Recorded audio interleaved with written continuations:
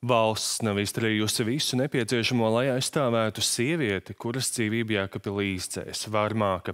Tā uzskata valsts prezidents Egils Laivits, kurš ar tiesību aizsardzības iestāžu pārstāvjiem šodien pārunāja, kā nākotnē novērst līdzīgas traģēdijas. Un viena no iespējām būtu persona, kurām noteikts liegums tuvoties, elektroniskā uzraudzība. Turpina Madara Līcīte.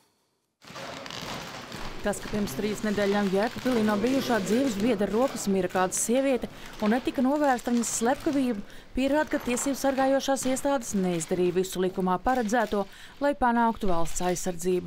Valsts prezidenta ieskatā neviena no amatpersonām nesaskatīja kopainu par varmāku un pie tā, kā var novest viņa izteiktie draudi.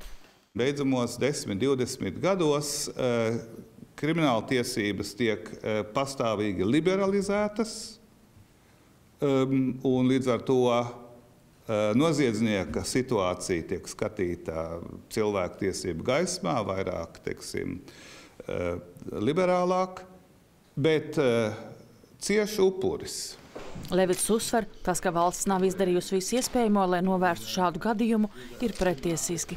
Valstī ir pienākums atbal, nodrošināt cilvēku drošību, un tas šajā gadījumā nav noticis. Prezidents un policija aicina saimu ķerties pie likuma grozījumiem, lai drīzumā tiktu ieviests jauns drošības līdzeklis - elektroniskā uzraudzība, lai efektīvāk kontrolētu cilvēkus, kuriem ir noteikts tuvošanās aizliegums.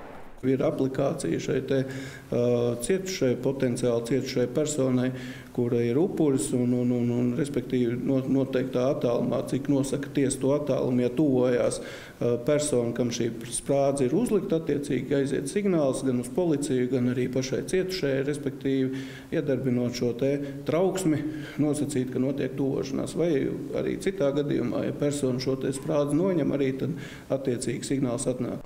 Savu darbinieku un policijas atbildību notikušajā vērtē arī prokuratūra.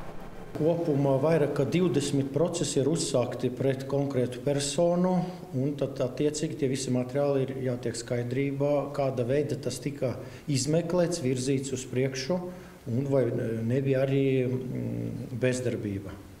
Policijas priekšnieks informēja, ka šodien, balstoties uz dienesta pārbaudas rezultātiem, ir ierosināta disciplināra lieta. Roka ieskatā Austrum Zemgales iecirkņu priekšniekam Rolandam Bērziņam bija jāsaskata riska drauti un jāceļ trauksme.